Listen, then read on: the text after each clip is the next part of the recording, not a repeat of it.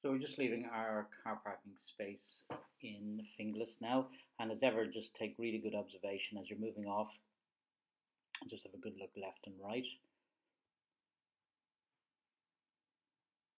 Again, once you get to this point here, make sure you glance left and right again. Don't pull out too fast.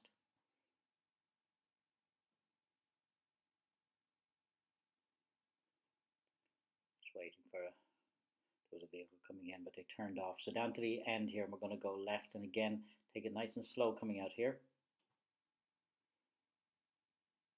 Have a good look both directions. And then we're heading back out through the exit. Some roadworks going on here at the moment. Just again, take it nice and slow.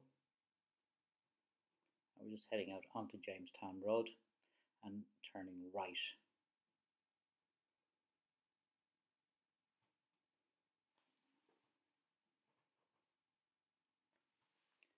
Again, this can be quite busy here sometimes, so we just have to wait. We have to wait for this car to turn into the centre. And again, there's traffic coming in both directions at the moment.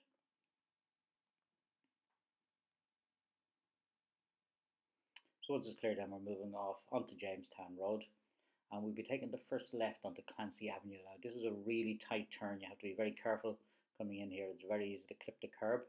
If there's another vehicle coming out of the road, you may need to wait or even go into first gear, but take it really slowly.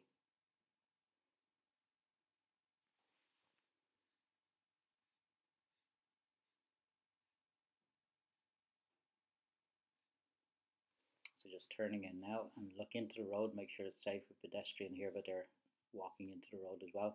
Car parked around the corner, so just moving out in good time. And again, there's quite a narrow road here and there's cars parked usually on both sides, so take it nice and easy. So down to the end of this road, and we're going to be turning right onto McKee Road. There's no stop line or stop sign here, but you really do need to stop. There's usually cars parked, certainly to the right and very often to the left as well, so your view coming out can be obscured.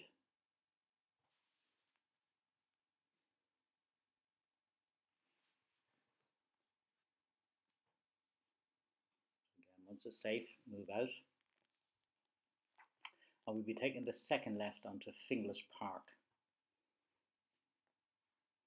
Just passing the first junction here.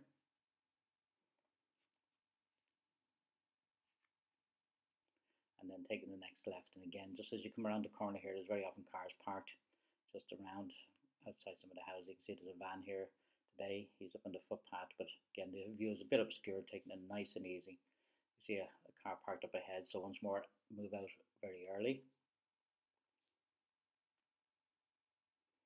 car here just turning. I think they've come out of the driveway. So just going to hold back, let them finish their maneuver. And then we proceed once it's safe to do so.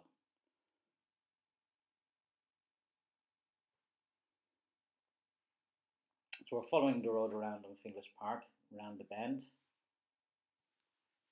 Again, just keeping an eye out for anyone coming out of a driveway.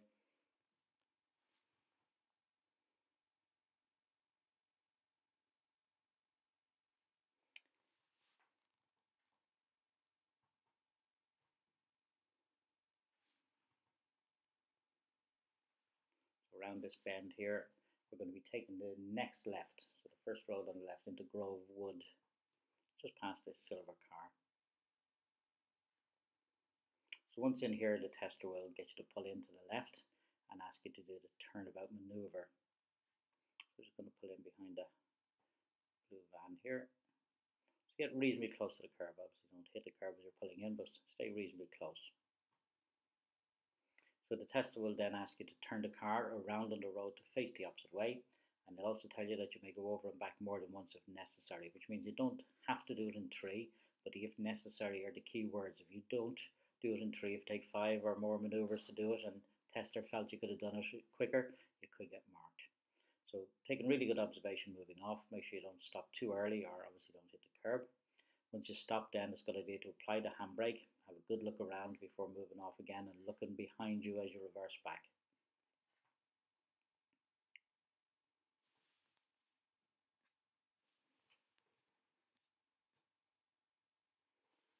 And again, once you stop, apply the handbrake if necessary. Have a good look left and right and then move off. Once you've completed this maneuver, the test will generally ask you to pull in and stop straight away and he'll ask you for the hand signal so make sure you know those. Once that's done then we're moving off down to the end of the road and turning left back out onto Finglas Park.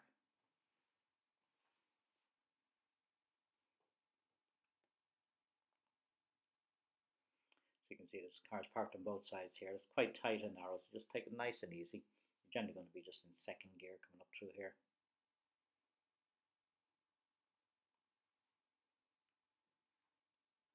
We'll be following the road around the bend and coming to a T-junction where we're going to be turning right back onto McKee Road.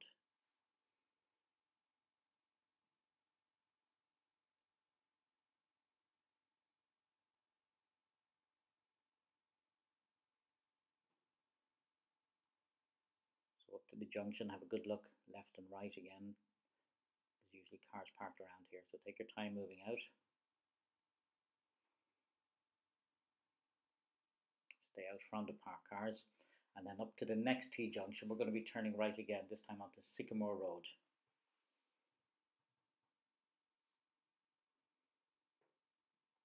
It's a stop sign and a stop line, so don't go out too far.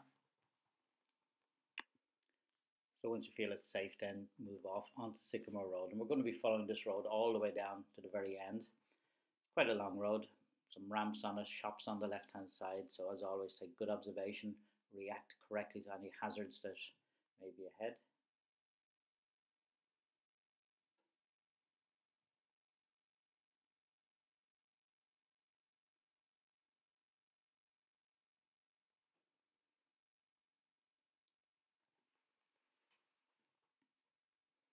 Just coming past the shops now.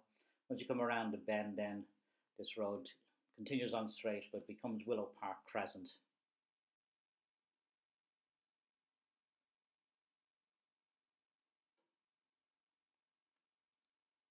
Watching the car there the left. These ramps here are high enough, so just take it nice and easy going over.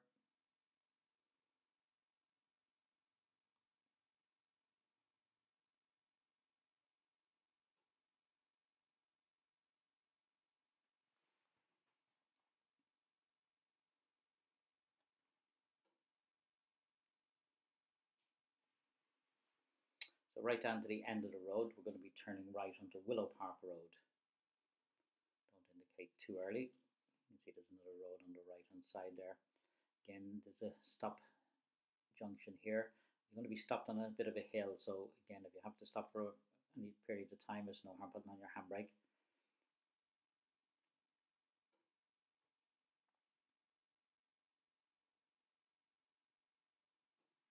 So once onto Willow Park Road, we're going to be taking the second left, so just passing this junction here, and then taking the second left, which is onto Willow Park Avenue.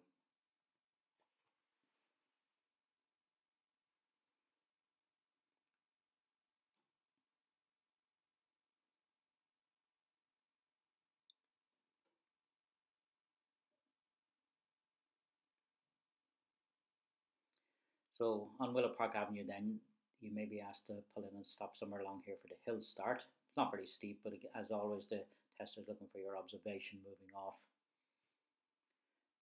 He then may ask you to pull in and stop again up here, and explain to you that he wants you to do a reverse into this next road here on the left, that's into Willow Park Grove. So he'd ask you to pull in and stop and then explain that he wants you to reverse into the road and then move off again and pull in after it, and he'll further direction. So make sure again you take good observation moving off careful when you're pulling in here. As you can see, there's a car on the right. Don't pull in opposite the car. Don't narrow the road, which might make it difficult for emergency vehicles to get by if ambulance or fire brigade want to come up or down the road. So once you've pulled in here, then the test will ask you to reverse back into the road. He'll tell you that you're to continue reversing while it's safe to do so, and he'll tell you when you've gone back far enough. So really good observation here, moving off behind you, look all around you, and particularly look behind as you're doing it. Anyone comes behind you must stop and give way. Stay reasonably close to the curb.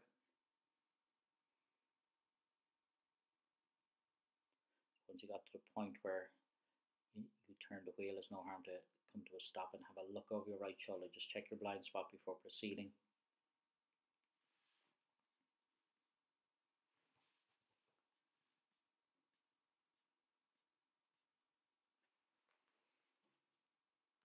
Keep glancing behind and to the right, checking your mirrors, checking out the back window, so looking all around.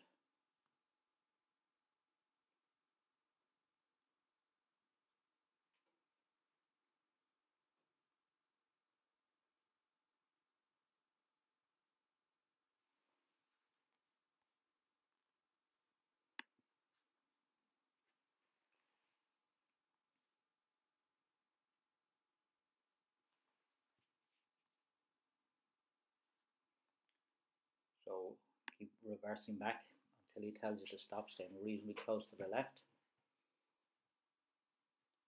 So once you've gone back a couple of car lengths, he will just say to you that's far enough, and then you can move off again. And this time we're, we're going to be turning left. As always, when moving off the side of the road, check your mirrors, indicate right if necessary, look over your right shoulder and move away. Keeping close to the left here, we're turning left back onto Willow Park Avenue.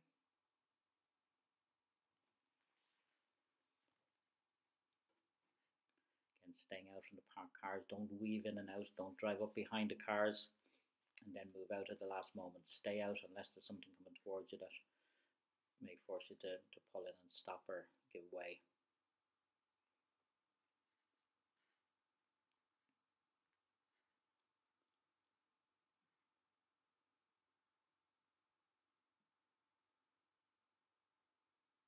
So heading down Willow Park Avenue, we're coming to a mini roundabout we're going to be turning right. So signal right. It is the second exit, but you're going right, so that determines whether you signal or not. Really good observation as you approach. Make sure there's nobody coming in from the right. And once again, onto this section of the road, move out from the parked cars once it's safe to do so. At the end of the road then, we're going to be turning right onto Glasnevin Avenue followed by a, an immediate left into Glasnevin Drive just at the Autobahn pub. This can be a busy road, you may have to wait here for a while depending on the traffic, so don't get impatient if you have to wait, just let the cars pass and move out when it's safe to do so.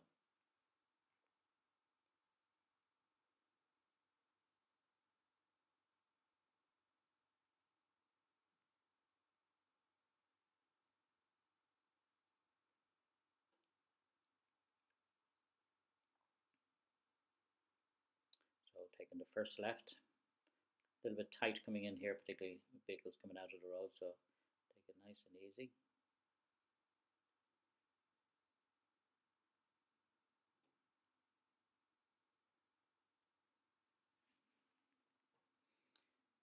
So we're then going to take the first right here into Glasnevin Park.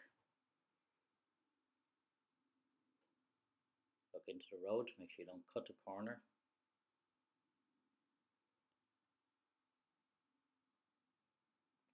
Are a lot of test routes in Finglas, maybe 15, 16 different routes they can take you on, but some of them overlap and there, there's only slight variations. This area here, around where we've driven and around this area is very common. You get a lot of tests coming around this area. So we've driven up past the, the first road and the second road here, and then we're going to be taking the next left into Hillcrest Park. It becomes a, a cul-de-sac up past here, so we're taking the left into Hillcrest.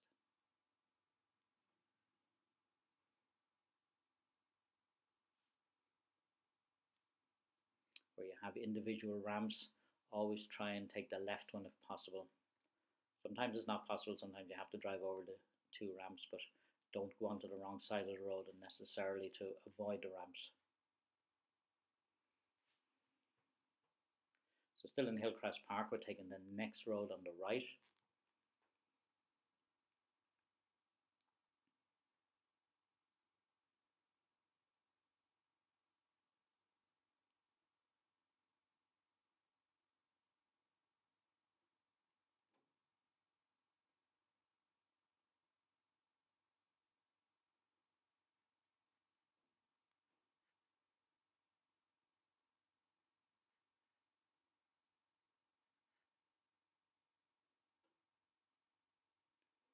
Following the road. So down to the end of the road, we're going to be turning left.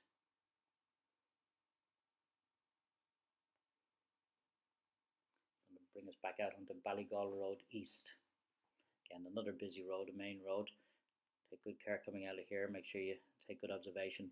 Keep an eye on these pedestrian lights on the left make sure they haven't changed to red while you're while you're here or while you're glancing to the right for other traffic. It's quite common for that to happen and people to drive through the red light get an automatic fail obviously. Again, keeping to the left ramp if it's available. Try and avoid get try and get your two wheels either side of the ramp wherever you can. Obviously don't get too close to the curb either.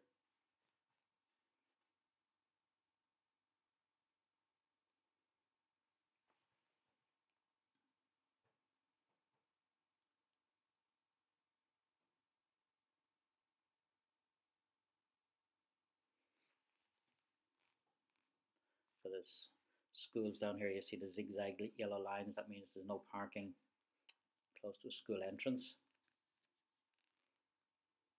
Watch the car parking spaces there, the way the cars are parked, a lot of them will have to reverse back out, so watch the, keep an eye on the children as well, crossing the road if they're out for a lunch or out for a break.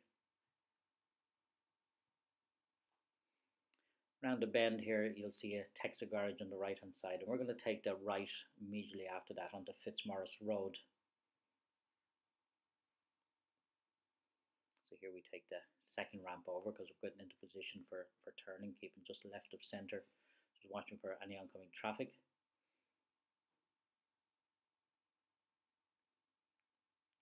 Make sure you look into the road before starting your turn in case there's any pedestrians crossing or anyone stopped. You don't want to block the road as you turn. So on to Fitzmaurice Road, but we're going to take an immediate left onto Glasilawn Avenue, just past the shops here. It's quite a tight turn here, and they usually get cars parked right up to the junction on yellow line, so it can be quite dangerous coming in here. Just keep a really good eye as you as you turn. You see the car in front is just coming around very slowly as well. There's really only room for one car to pass here, so there's cars coming up, you may have to pull in, but generally they will pull in for you because uh, you won't have anywhere to go.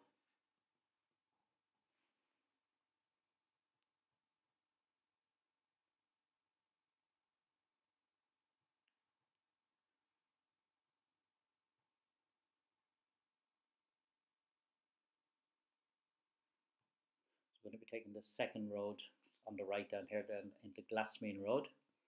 Again, See, it's very tight and narrow. Don't cut the corner, look into the road.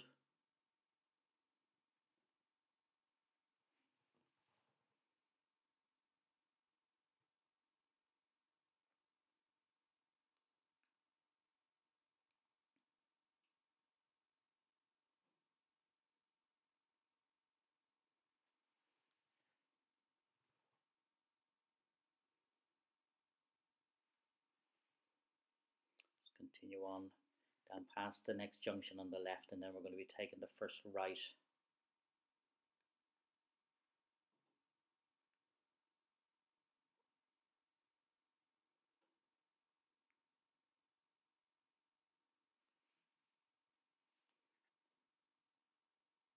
At the end of this road then we'll be turning left back onto Manor Road this is a little bit tricky here. You've got to be very careful. There's actually a stop line here. It's really hard to see. It's very faded. But you do need to stop anyway because as you pull out here, you need to keep a good eye, not only to the right, but as usual to the left because anyone coming up here from your left is going to be on your side of the road.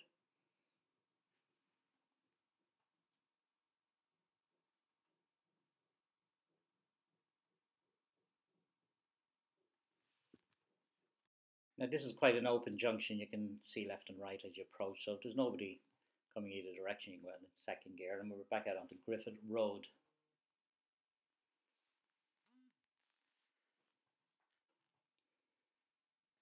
The end of this road is a mini roundabout, and we're going to be going left onto Glasanaon Road. You can just watch coming over the ramps.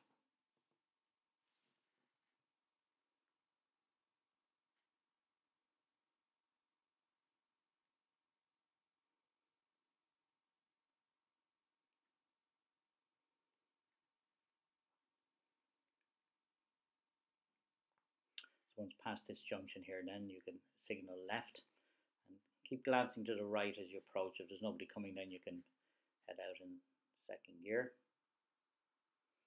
back out on the Glasanaon Road continuing straight on now for quite a while. Just watch the ramps, try and avoid them again where possible. Another mini roundabout coming up, we're going to be going straight, so there's no need to indicate. You don't have to indicate when going straight at a mini roundabout.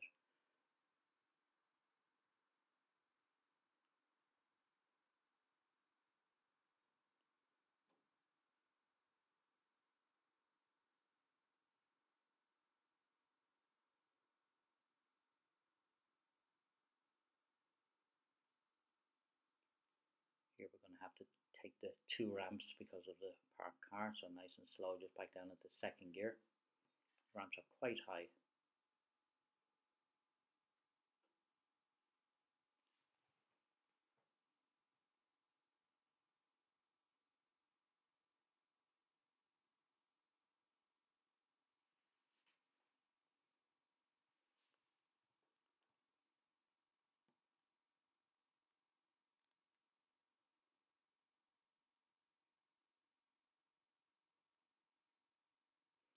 going to continue up to the traffic lights at the end of this road where we'll be turning left onto Seamus Ennis Road.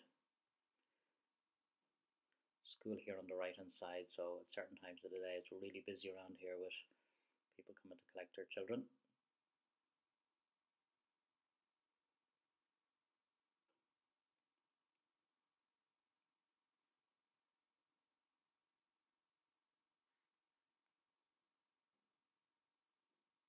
Don't indicate too early to the left here because there is a another road, there's a Ballygall Road is on the left just as we pass it here. Watch the yellow box as well if there's traffic stops. So just turning at the, the lights onto Seamus Ennis Road.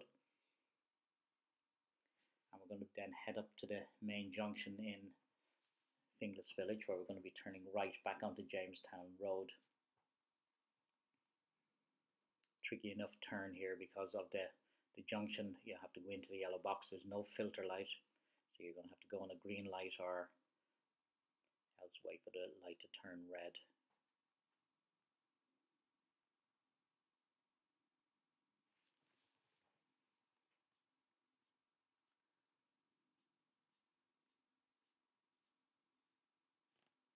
We're just waiting here.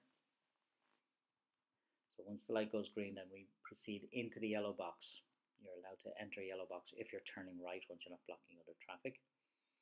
And this turn here, we're taking the first right. There's two right turns here, one onto McKee Avenue, but we're taking the immediate right onto Jamestown Road again. Make sure you go past the traffic island. Don't attempt to turn before there or you're going to be in serious trouble.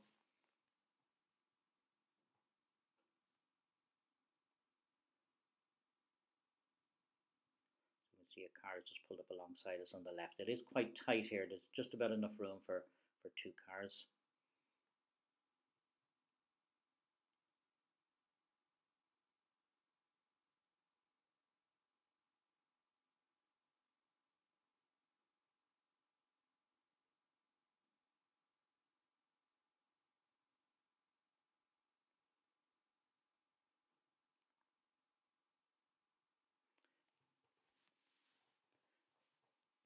getting a green light now any moment. Here we go. So we're just going to move forward into the junction. Just nice and slow. Don't go too far. You don't want to overshoot the turn. So we're looking here now for a gap in the, the traffic or if the light changes to red, make sure any oncoming traffic is stopped and then you proceed. But you must go, otherwise you're blocking the junction and you're definitely going to get an automatic fail for that traffic lights confuse a lot of people on the driving test. A lot of people fail their test because of them. So you see the light has gone amber, it's gone red. We're just making sure this car has stopped. He has, and then we're turning. So don't take this one on the left. So straight on up Jamestown Road, back up towards the test centre. The ramps on this road are fairly low, so you can continue on at reasonable progress up here. Again, just watching for anyone coming out from the side roads. Watch the parked cars for anyone opening a door.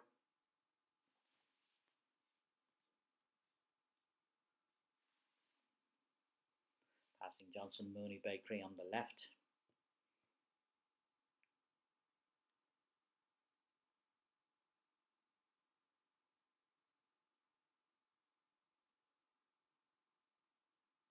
And then we're going to be turning left in towards the, the test centre. So as you approach here, the tester will just say to you that we're coming towards the end of your test. He wants you to turn left back into the test centre and then find a suitable place to park. So as you're turning in, just take really good care. If the barrier is down, just wait for, obviously for the that to be raised. If it is up, just again come in really slowly. Glance to your left as you go through the barrier. There's a little laneway to the left to could get somebody coming out of there. Watch for anyone coming straight on. You must give way to them. The barrier is up. We're just going to turn. Obviously, with the roadworks here, we have to go a little bit further up. Just watching this guy walking down towards us. Take it nice and slow in through here. And just following the road around the back of the test centre.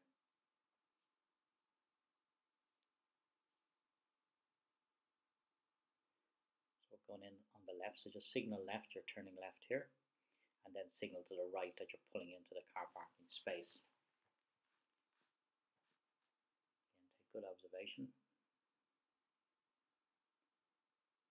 And make sure you get your car in between the two lines in the, the bay. And that's the end of Route 1 in Finglas.